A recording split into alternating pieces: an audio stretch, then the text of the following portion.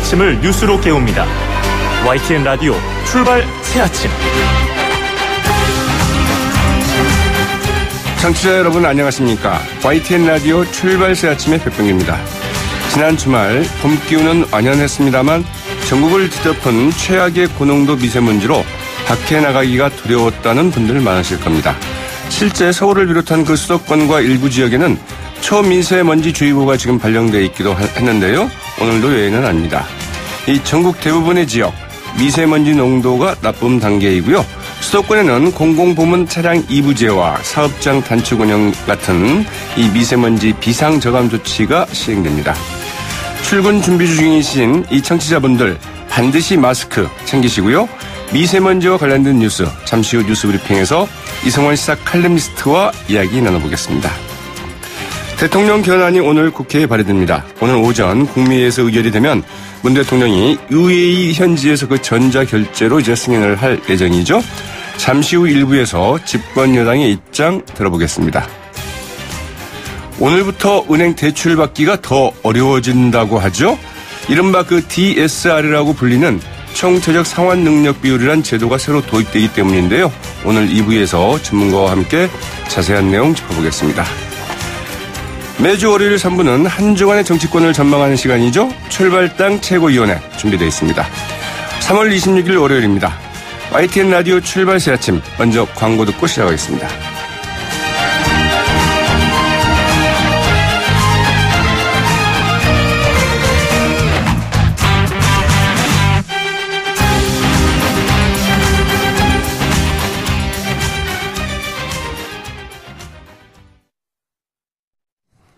지금까지 들어온 뉴스 이성원 시사 칼럼스트와 함께 짚어드립니다. 안녕하십니까? 네, 안녕하세요.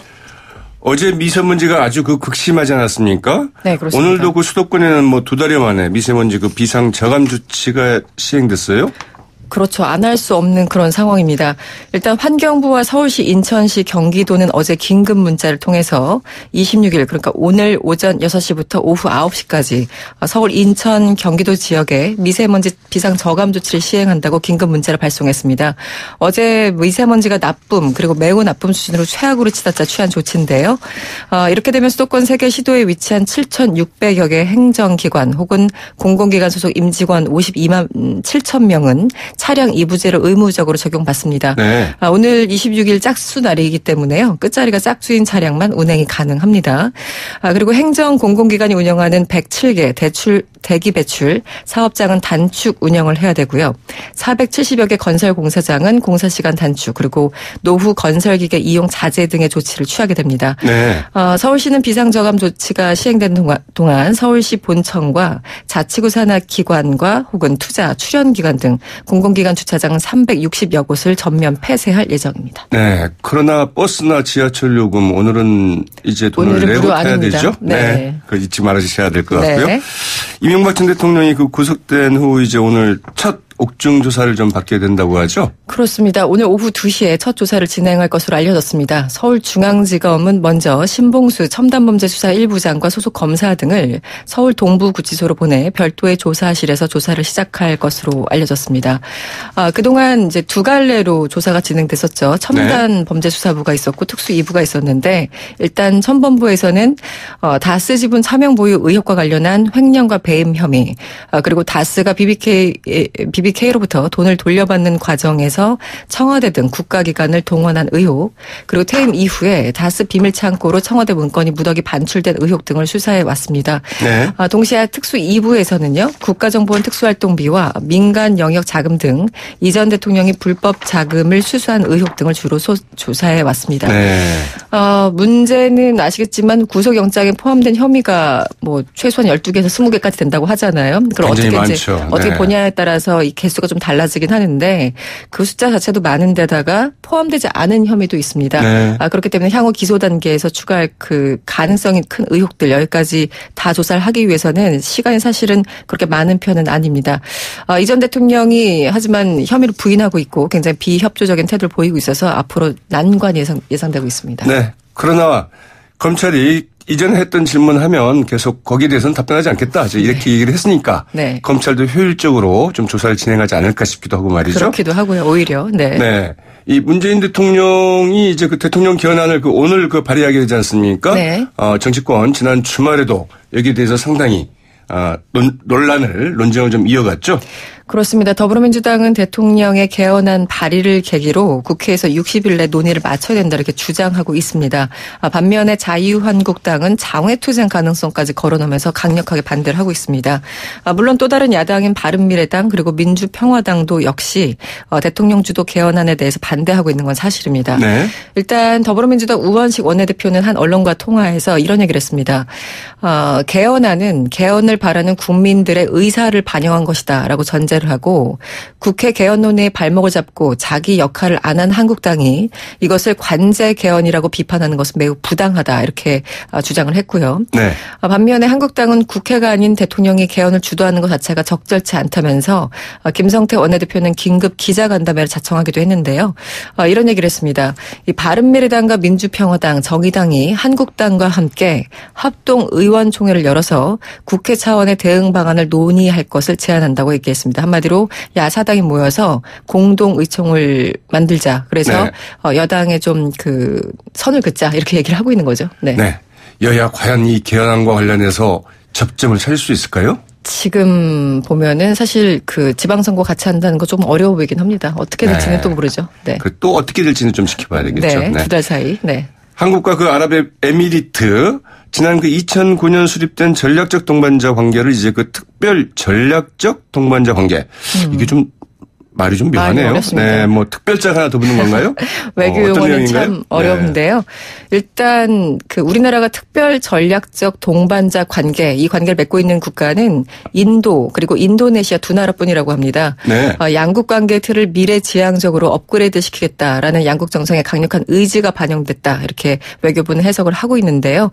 어, 일단 UAE를 UAE를 공식 방문 중인 문재인 대통령은 현지 시간 25일 아부다비 대통령궁에서 모하마드 아부다비 왕세제와 정상을 정상 회담을 갖고 이렇게 합의를 했습니다. 네. 아 그리고 양국 정상은 외교 국방 2 플러스 2 차관급 협치를 신설하기로 했습니다. 앞서 지난 1월에는 아부다비 행정청장이 우리나라를 방문하지 않았습니까? 네. 당시 신설하기로 합의했던 그 내용을 조금 더 구체화시킨 것으로 보입니다. 네. 문재인 대통령이 그 중동 방문은 UAE가 이제 처음이죠. 그렇습니다. 네. 네. 이 정부가 그 자동차 분야에서 그 미국의 요구를 일정 부분 수용하는 선에서 한미 자유무역 협정 FTA 개정 협상을 사실상 타결 지었다. 말 나오고 있죠. 그렇습니다. 아주 구체적인 내용이 나오지는 않고 있는데요. 일단 당초 미국이 농축산물 추가 개방 등 우리가 받아들이기 어려운 요구를 할 것이라는 우려가 나왔지만 어, 정부는 일단 가장 우려했던 부분은 성공적으로 방어했다 이렇게 일차적으로 평가를 하고 있습니다. 어, 지난 25일 김현종 통상교섭본부장은 인천국제공항에서 기자들을 만났는데요. 한미 FTA 그리고 무역법 232조 철강 네. 관세에 대해서 미국과 원칙적인 합의 그리고 원칙적인 타결을 이뤘다고 얘기를 했습니다.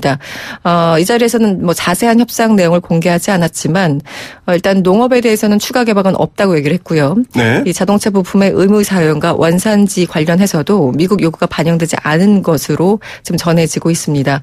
일단 그 그럼에도 불구하고 자동차가 2017년 대비 대미 무역 흑- 무역 흑자의 72% 차지하고 있기 네. 때문에 이런 점을 고려한다면 자동차에서 어느 정도 양보를 하지 않았을까 이런 추정이 지금 나오고 있습니다. 네.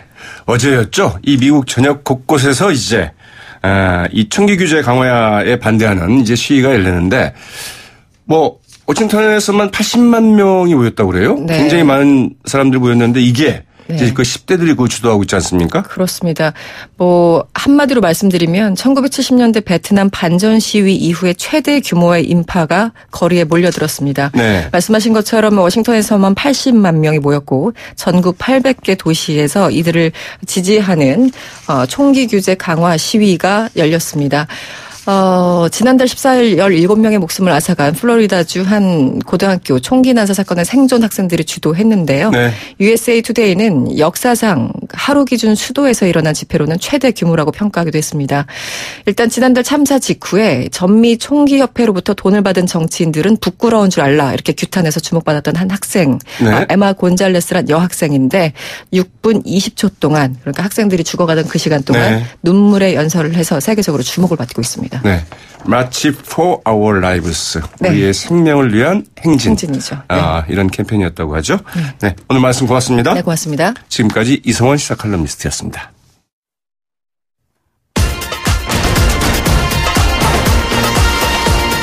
여러분이 지금 듣고 계신 주파수는 FM 94.5MHz입니다. YTN 뉴스 FM.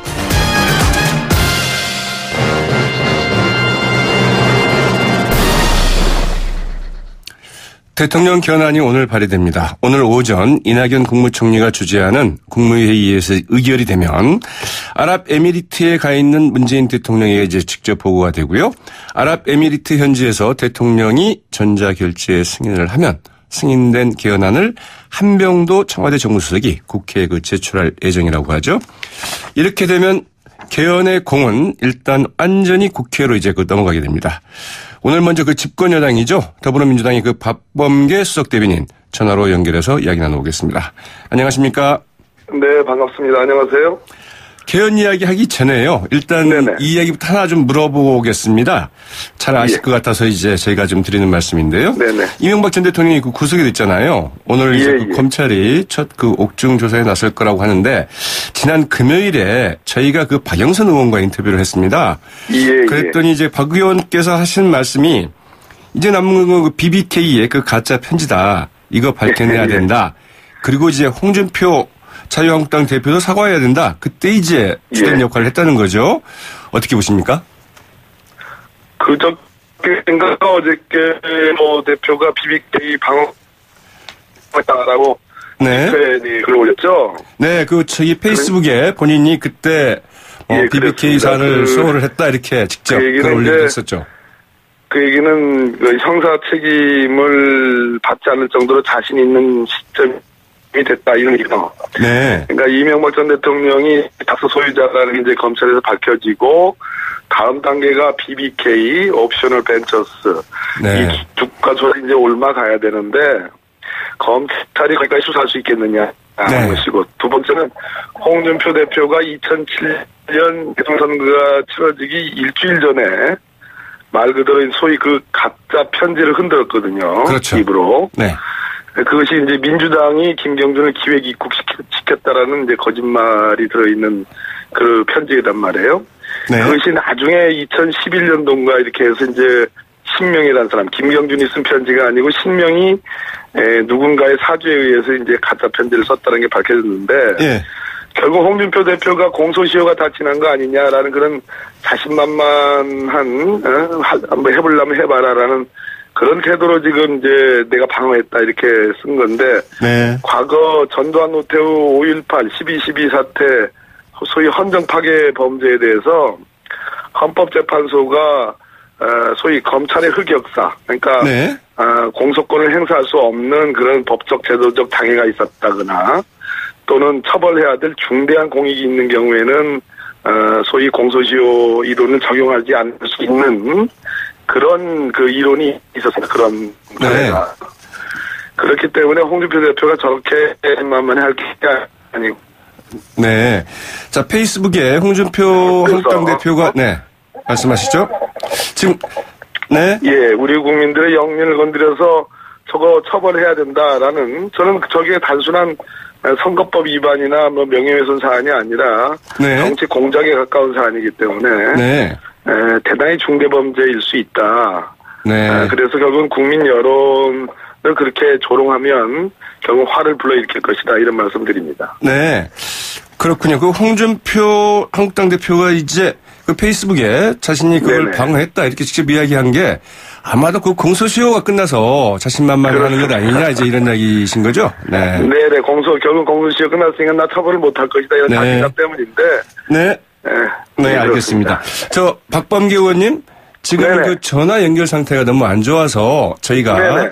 다시 전화를 좀 드리도록 하겠습니다. 잠시 끊고 조금만 좀 기다려 주시겠습니까? 아 그렇군요. 예 네, 예. 네, 잠시 좀 끊고 기다려 주시기 바랍니다. 네. 이제 앞서 말씀드린 것처럼 이 홍준표 자유한국당 대표, 네, 페이스북이 이제 이런 말도 했습니다. 이 BBK 사건하고 다스 사건은 다르다. 뭐 이제 이런 말도 했다고 그러는데요. 과연 국민들이 이를 좀 어떻게 받아들일지 좀 지켜봐야 될 것 같고요. 자, 네, 다시 네. 연결돼 있습니다. 자, 네. 그 다시 네, 이야기를. 좀 어, 이어가도록 하겠습니다. 예, 예, 그렇죠. 네, 이제 그 개헌 이야기 본격적으로 좀 해보도록 하겠습니다. 예, 예, 그러시죠. 자유한국당에서는 대통령 개헌안 출석이다. 뭐 시간 제약 때문에 뭐 급히 할 일은 아니다. 이렇게 이야기를 하고 있는데요. 율사 출신으로서 이 내용적인 측면에서 일단 대통령 개헌안 어떻게 평가하십니까? 일단 국회가 지난 1년 동안 그 소위 개헌특위를 만들어서 논의를 했음에도 불구하고 지금 합의에 이르지 못했잖아요. 네. 그리고 자유한국당은 지금 개헌안 내용조차도 지금 발표하지 못하는 상황에서 대통령은 어 당연히 개헌이라는 일종의 30년 한 세대 이상의 어떤 나라와 민족의 운명을 결정하는 중대 사안이기 때문에 대통령 개헌안이 발의될 수밖에 없는 거고요. 네. 이번 개헌안의 주요 내용은 역시 안전권과 같은 기본권의 강화, 또 지방세 조례주의와 같은 지방 분권의 아주 획기적인 확대, 네. 에, 뭐 이렇게 보겠습니다. 또, 또 대통령 어, 인- 연임제, 또 어, 대통령의 권한의 축소, 뭐 이렇게 요약될 수 있, 있겠습니다. 예. 네. 이번 이제 당초 이 국민 헌법 자문 특위에서 제안한 안에서 안과 좀 달라진 게 대통령 개헌안의 그 18세 이상 어, 선거권 네네네. 문제를 이제 문재인 대통령이 아주 강력하게 주장을 해서 집어넣었다고 그래요. 네네. 어, 이거 꼭 그 개헌안에 넣을 필요 있느냐 이런 얘기도 많이 있던데 말이죠. 박봉기 의원께서는 어떻게 보시는지요? 이미 18세, 만 18세, 우리나라 18세의 나이의 청소년은 아, 이미 상당 부분 에, 국정의 에, 직접 민주주의 형태로 아, 지난 그 뭐 촛불 역사에서도 그랬고요. 그 이전과 그 이후에도 아, 이미 자기 정체성을 갖고 아, 정치적 식견을 갖고서 이미 에, 참여를 하고 있습니다. 국정에. 네. 그런 측면에서 어 뭐 저 자유한국당의 일부 의원들 중에서도 뭐 김성태 대표님도 아마 그런 취지의 말씀하신 것 같은데요. 이미 참정권을 확대하는 방향의 어떤 공감대는 저는 이루어졌다고 봅니다. 네. 그것을 헌법에 반영하자 그런 취지로 읽혀집니다. 네. 그 야당, 특히 그 자유한국당에서는 이 대통령 개헌안 그 발의 과정에 대해서도 문제를 많이 제기를 하고 있어요. 우선 첫째로, 어, 발의 당일날 이제 국회를 하는 것은 국민의 그 심의를 무시하는 것 아니냐. 위헌 소지가 있다. 뭐 장관들이 설령 뭐 어떤 의견이 있다 하더라도 오늘 당장 어떻게 의견을 내겠느냐. 이렇게 이야기를 좀 하고요. 또 이제 조국 수석이 그 3일 내내 개헌안을 발표하지 않았습니까? 네네. 여기에 대해서도 좀, 음, 오히려 뭐, 그 조국 수석이 할 게 아니라 국무총리나 법무장관이 했어야 되는 것 아니냐. 이런 얘기를 나오고 있는데요. 그 어차피 다 총칭해서 법무부 장관이든 또는 청와대 민정수석이든 대통령의 소위 참모 라인입니다. 네. 아, 민정수석은 비서 쪽이고요. 어, 법무장관은 아, 소위 이 각부를 구성하는 아, 일종의 법률 참모인데요. 아, 대통령의 바- 어, 개헌 발의안이기 때문에 아, 민정수석이 해도 저는 무방하다는 생각이 들고요. 네. 과거의 민정수석의 역할과 문재인 정부의 민정수석의 역할은 완전히 달라졌습니다. 소위 수사에 개입하고 간섭하고 하는 그런 관점이 아니고 법률적인 어떤 어, 대통령의 참모로서의 역할이기 때문에 충분히 가능한 얘기고요. 네. 국무회의 심의라는 것도 다른 법률안도 마찬가지로 충분히 물밑에서 어, 각 관계부처 장관과 어, 나름의 협의를 하고 또 이미 지난 1년간 논의되어 왔고 언론을 통해서 중계됐으며 또 민주당 안이 이미 한 두어 달 전에 발표가 된 상황에서 네. 어, 저는 오늘 국무회의를 열어가지고, 어, 저, 관계 국무위원들이 예, 심의를 해도 그것이 뭐 문제가 있다고 보지는 않습니다. 네. 그동안이 충분히 공개되고, 어, 공개적으로 논의된 사안이다. 이렇게 얘기를 하시는군요. 그렇게 보여집니다. 네. 자, 이제, 그러나 이제 문제, 공이 이제 완전히 그 국회로 넘어왔는데요. 예, 그렇습니다. 지금 상황에서 이 야당들이 여기에 대해서 뭐 동의해 줄 것 같지는 않은 것 같아요. 그죠? 유일하게 접점을 찾을 수 있다고 한다면 지금 자유한국당에서는 이제 국무총리 선출제를 이야기하고 있지만 국회에서는 주제죠. 그러나 이제 그 정의당이나 혹은 어 평화당에서는 어 그리고 이제 그 뭐 이 바른미래당에서도 이 국무총리 추천제 정도를 하면 어떻겠느냐? 혹은 뭐 동의제를 증거 같이 한다 하더라도 이게 과반의 동의가 아니라 3분의 2의 동의를 하면 어떻겠느냐. 이제 이런 게 절충점이 되지 않을까 싶은데 어떻게 보십니까? 어, 대통령 개헌안 발의는 대통령의 관점에서 어, 발의를 한 거고요. 그렇다 하더라도 문재인 대통령이 5월 초 정도까지 국회의 의견으로 합의가 되는 안이 있으면 아, 대통령 발의의 개헌안은 철회할 수 있다라는 그런 입장을 밝혔습니다. 이 네. 얘기는 무슨 얘기냐면 결국은 국회가 합의하기 달려 있다 이런 말씀이고요. 네. 다만 아, 국무총리를 선출하던 국회에서 추천을 하던 다 의결의 형태로 어, 하는 것이기 때문에 그것은 그 용어상의 표현에 불과하고 네. 어, 결국은 대통령제의에서 의원 내각제로의 변형에 가깝다. 그래서 어, 결국은 대통령의 리더십과 국회 선출 혹은 추천의 총리의 리더십 심지어 이번 개헌안에 담겨 있는 것이 대통령의 명을 받아라는 것을 삭제했고 네. 총리에게는 국무위원 재청권, 국무위원 해임 건의권이 있기 때문에 국회가 선출 혹은 추천된 그런 총리가 이런 어, 국무위원 선출, 국무위원 재청, 재청과 해임 건의권과 아, 맞닥뜨리게 되면 네. 대통령의 리더십과 충돌할 가능성이 매우 높습니다. 그것은 에, 국정 안정이 특별히 우리나라에서 요구가 되는데 에, 대통령제 국가의 우리나라 또 국민의 에, 지금 어, 법 감정상 네. 아, 받아들, 쉽게 받아들이기는 어려운 거라고 보여지는데요. 근데 문제는 에, 국회가 합의하게 달렸다 이런 얘기입니다. 네. 무슨 얘기냐면 아, 국회는 300여 명에 가까운 정체성들이 있기 때문에 네. 에, 내용이 중요한 게 아니고 결국은 시기가 중요합니다. 국회는.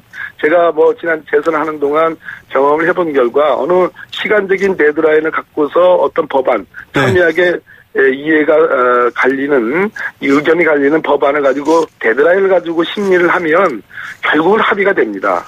아, 대단히 네. 중요한 얘기입니다, 이게. 네. 시기가 더 중요하지 네. 에, 내용보다는 네. 국회의 제 경험상은 그렇습니다. 네. 그러면 박범계 의원께서 생각하시기에 이 데드라인 언제쯤으로 보고 계십니까?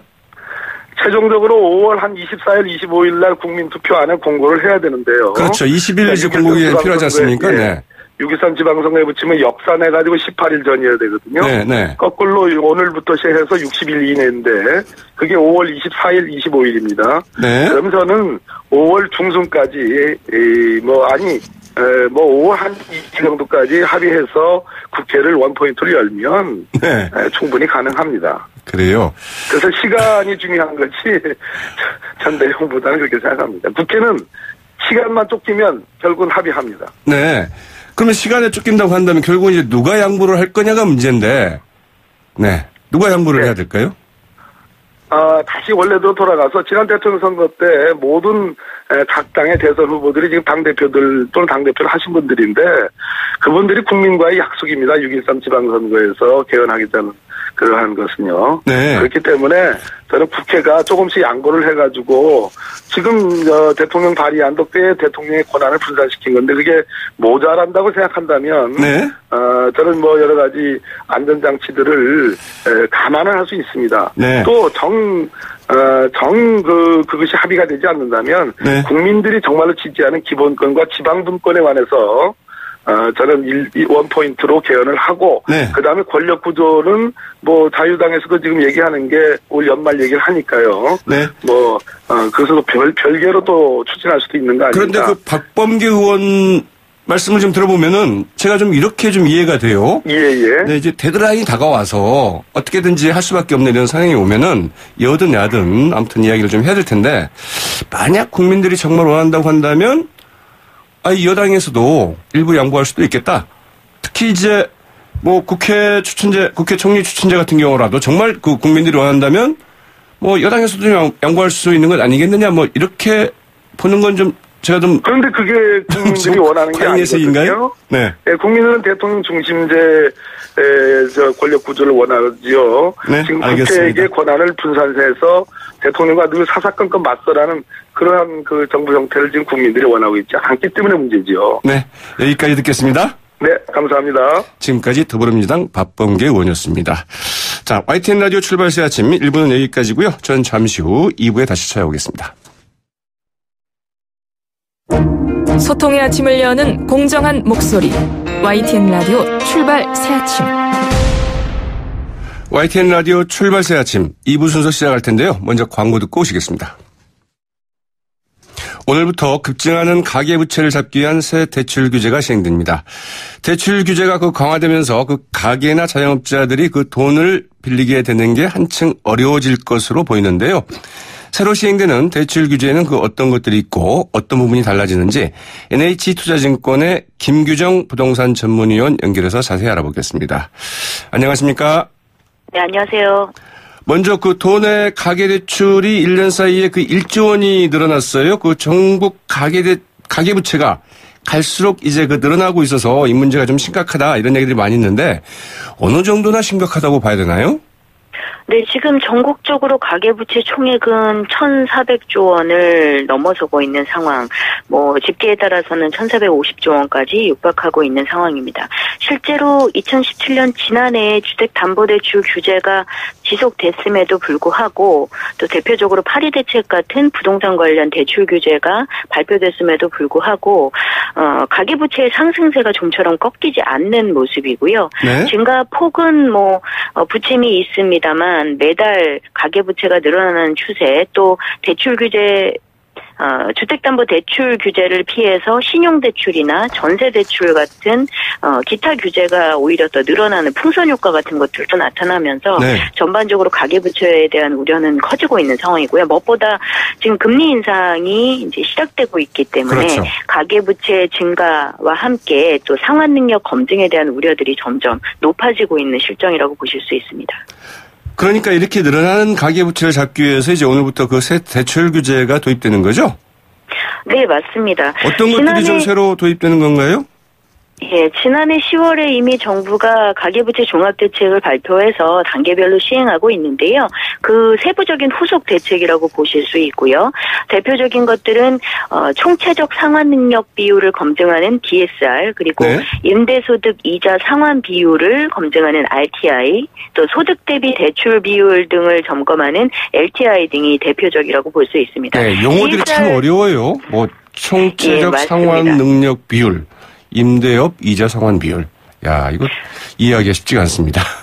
예, 네. 영어 이제 약자도 포함되어 있기 때문에 굉장히 좀 어려운데 총체적 상환 능력 비율은 이제 대출하시는 차주의 모든 신용대출까지 포함해서 대출 액수 또 상환 능력을 검증하겠다라는 제도라고 쉽게 이해하시면 되고요. 네. 임대소득 이자 상환 비율과 소득 대비 대출 비율은 어, 주택담보대출 규제에만 한정돼 있던 가계부채 관리 부분을 자영업자 또 최근에 문제가 되고 있는 부동산 임대월 대출까지 확대해서 이제 대출 관리를 하겠다라는 의도로 이해하시면 조금 쉽게 이해하실 수 있을 것 네. 같습니다. 금융당국은 이 같은 규제를 이제 강화를 하면 가계부채를 어느 정도 좀 잡을 수 있지 않겠느냐 이렇게 기대를 하는 것 같은데 과연 그럴 수 있을까 싶고요. 또 그 잡을 수 있다면 가계부채 어느 정도 얼마나 좀 잡겠다 이런 목표를 좀 가지고 있는 겁니까? 어, 내부적인 목표는 있는 걸로 알고 있습니다. 다만 근데 외부적으로는 이게 얼마나 이제 단기간 실행이 될지 좀 지켜봐야 하는 문제인데요. 다만 종전에 이제 주택담보대출 규제에 한정됐던 가계부채를 어, 일반 자영업자, 개인사업자 대출 관리까지 폭넓게 확대를 하고 있고 또 네.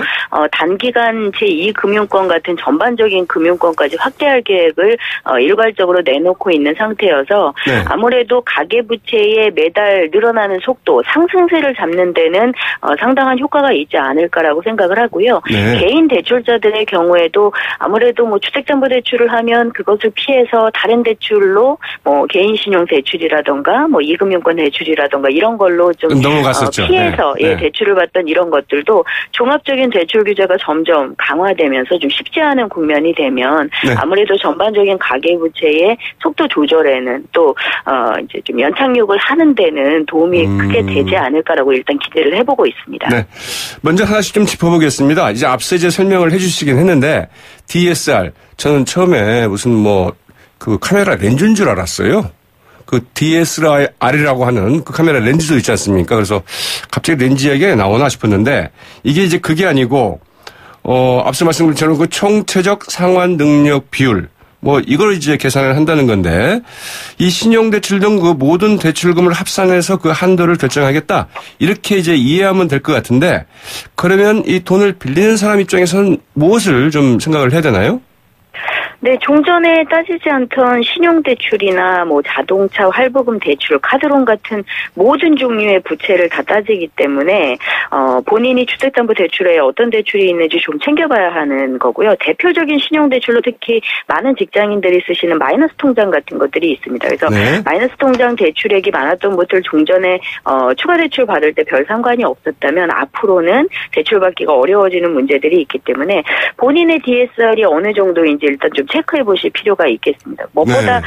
어, 본인의 소득에 비해서 이제 어, 대출 원리금을 갚을 수 있는 부담이 너무 크면 대출을 점차적으로 줄이거나 규제를 해나가겠다라는 얘기이기 때문에 뭐 원론적으로는 소득 대비 또 대출 액수를 관리하는 이런 정책 부분이 맞을 수는 있지만 개인들의 대출 계획에 차질이 생길 수 있기 때문에 일단 이런 부분들 빨리 챙겨보고 또 대출 아. 어, 규제 변경 시에 어떻게 대응할 것인지 좀 전략을 세울 필요도 개인적으로는 있습니다. 네, 은행 대출이 필요하신 분들은 이 부분 좀 꼼꼼하게 좀 챙겨보셔야 될 것 같네요. 6개월 정도 그 시범 도입한 뒤에 그 10월부터 본격적으로 좀 시행을 하겠다. 이제 이런 계획인 것 같은데 이렇게 시간을 두는 이유가 있습니까? 예, 일단은 은행권의 준비나 점검도 좀 필요한 상황이고요. 앞서도 말씀드린 것처럼 대출 이용 계획을 가지고 있던 개인들의 입장에서도 갑자기 대출이 중단되거나 하면 문제가 생길 수 있기 때문에 네. 어, 시범 기간 동안 DSR 수치의 관리 또 DSR이 너무 높으신 대출자분들의 관리 이런 것들을 통해서 어, 점차적으로 또 시간을 갖고 규제를 본격 실행하겠다라는 음. 거고요.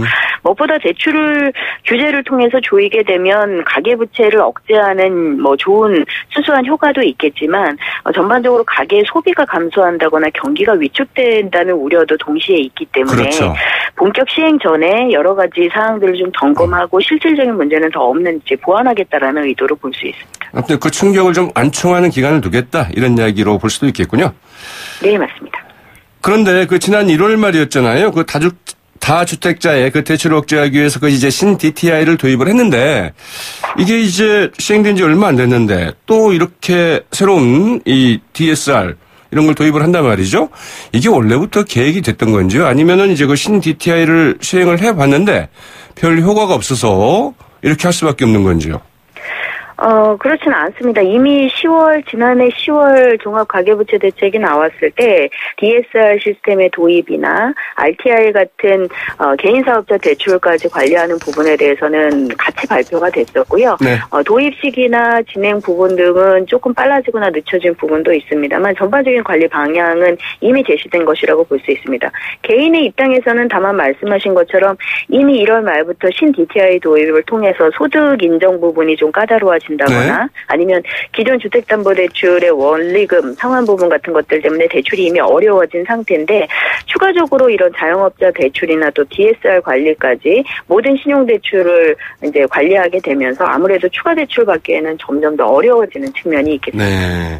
이 금융 부분에 대한 여러 가지 대출 규제나 이런 것들을 보면은 이쪽이야말로 부익부 빈익빈이다. 이제 이런 생각을 자꾸 하게 돼요. 왜냐하면 가계 대출을 좀 규제를 좀 해야 된다. 이건 이제 원론적으로 맞는 이야기인데 이 돈이 필요한 분들은 대부분 다 그 서민들이거나 어려운 분들이잖아요. 네. 그러다 보니까 이 DSR을 두고도 결국은 이제 그 서민층의 그 돈줄만 맡게 되는 것 아니냐. 이런 이제 불만의 소리도 나올 수 있을 것 같아요.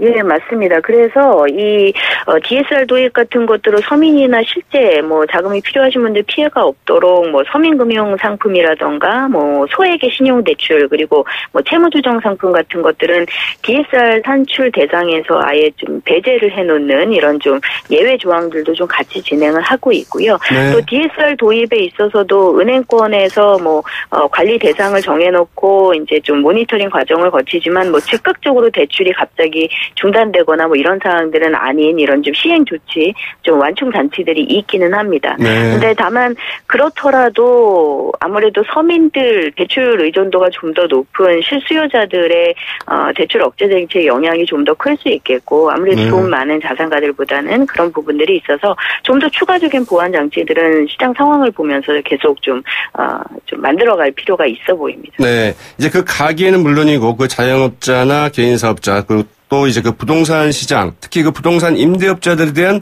이 대출 규제도 강화가 된다고 그러는데 그러면 이렇게 되면은 이른바 그 풍선 효과라고 있잖아요. 어, 제1금융권 대출이 어렵게 되면 그 제2금융권으로 넘어가지 않겠느냐. 뭐 이런 시각도 있는데요. 네, 충분히 우려할 부분들은 있습니다. 지금 이미 시작되고 있는 대출 규제에 따라서 뭐 주택담보대출을 피해서 개인신용대출로 또 1금융권을 피해서 2금융권으로 풍선 효과가 이미 나타났었기 때문에 충분히 우려할 부분들이 있겠고요.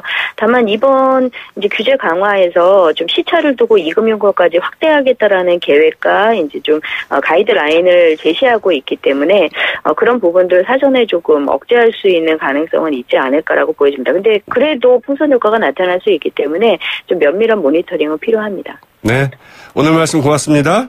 감사합니다. 지금까지 NA투자증권의 김규정 부동산 전문위원이었습니다. 네, 앞서 오늘부터 이제 급증하는 그 가계부채를 잡기 위한 그 새 대출 규제에 대해서 말씀드렸는데요.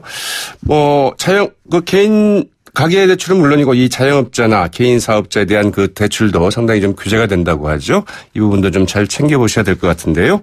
YTN 라디오 출발 새 아침 2부 순서는 여기까지고요. 저는 뉴스 듣고 잠시 후 8시 10분경 3부에 다시 찾아오겠습니다.